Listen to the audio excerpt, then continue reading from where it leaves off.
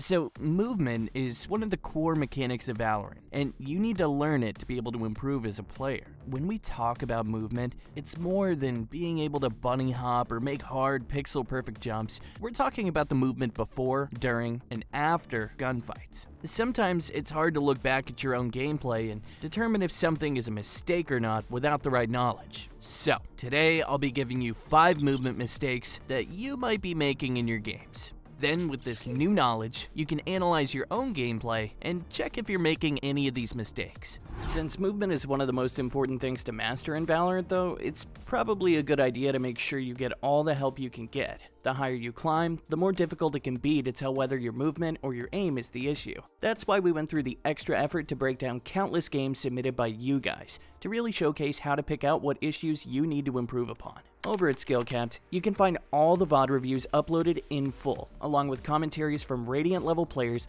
showcasing how to properly implement these tactics. All this backed by our rank improvement guarantee means there's literally no reason not to give it a look. Let's get into our first mistake, but if you're really looking to improve, be sure to check out Skillcapped and we'll see you there. Now, for the first mistake, I wanted to tell you something that most people don't talk about. It's about the way you move after you throw a flash around a corner. We've all been there. We flash around a corner, swing and see two full blind enemies, and then right when you're gonna shoot, you get killed while they're blind. This has to be one of the most annoying feelings in Valorant because you did the right thing. You used utility and your enemy was outplayed. But with good crosshair placement and a little bit of luck, they still killed you. But we can lessen the chances of this happening by switching the way we swing that angle. The mistake is swinging either too early or too predictable. Most players swing really predictably after they flash, so I'll be giving you two techniques that you can use next time you play a flash agent. First, you can just wait an extra half a second and then swing.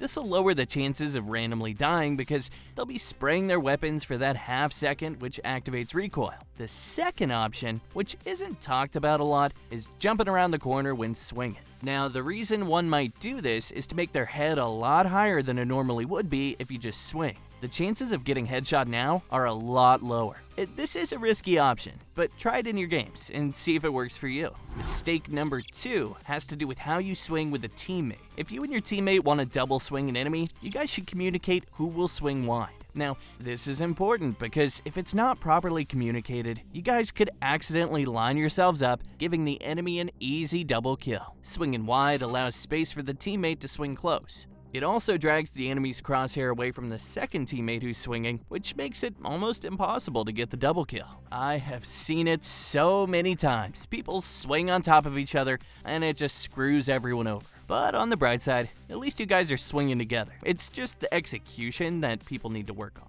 Just remember to communicate and decide who should swing wide.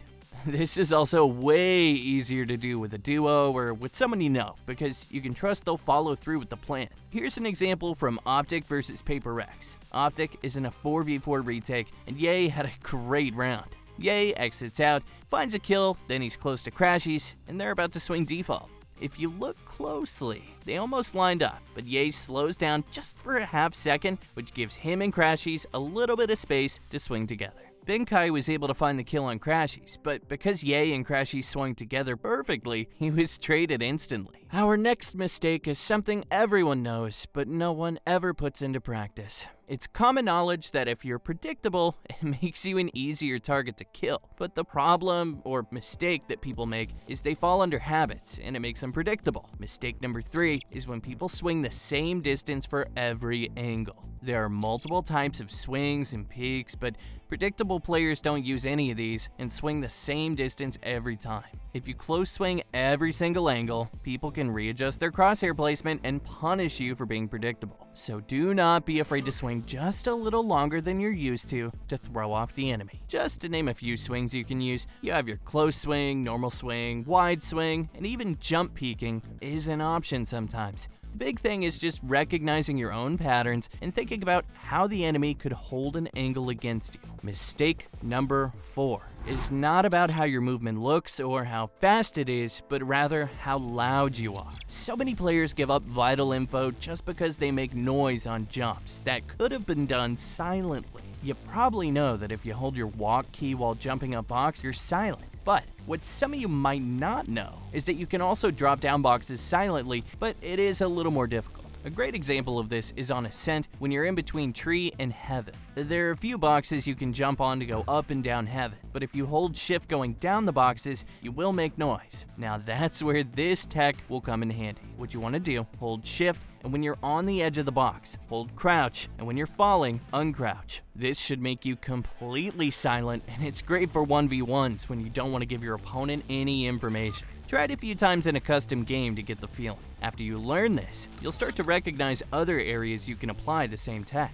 Another movement tip is being able to move upstairs faster without making a noise. What you want to do is get some speed, then hold your walk key while tapping jump every single time you land. This is great on Haven A side because you're able to silently jump all the way to the top, and that allows you to retake faster or catch a timing from the enemy. This last mistake makes players very easy to kill, and it's something you're not even thinking about. When your agent goes from a stop position to a full speed sprint, it takes a little bit of time to reach max speed. You build up speed until you hit your max speed, and then you can slow down instantly by counter strafing. Now, why is this important?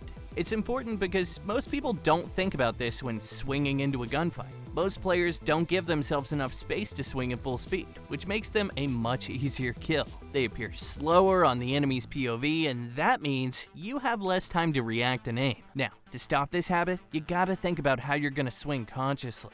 Before you swing someone, you need to ask yourself if you're too close or too far away from the angle. Soon, this will be a habit, and you won't have to think about it at all. The most important thing is to build up this good habit so you don't have to retrain yourself on how to swing an angle. And that is 5 movement mistakes that you might be making. We hope you enjoyed the video and have a great day. That's all we got for our video today, but remember that if you're really looking to improve at Valorant, I highly recommend checking out skill-capped.com.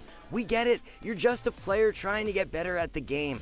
That's why you're watching this video in the first place. You're capable of hitting that rank you deserve, but there's no shame in asking for a little help. At skill-capped.com, we spend hours going through viewer submitted replays to let you know all the mistakes that you're making. We also couple this with our Smurf commentaries to show players that it is possible to carry themselves out of whatever rank they're stuck in. It might seem hopeless at times, but trust me when I say we can help you out. All you have to do is check out skill-capped.com. Link in the description below.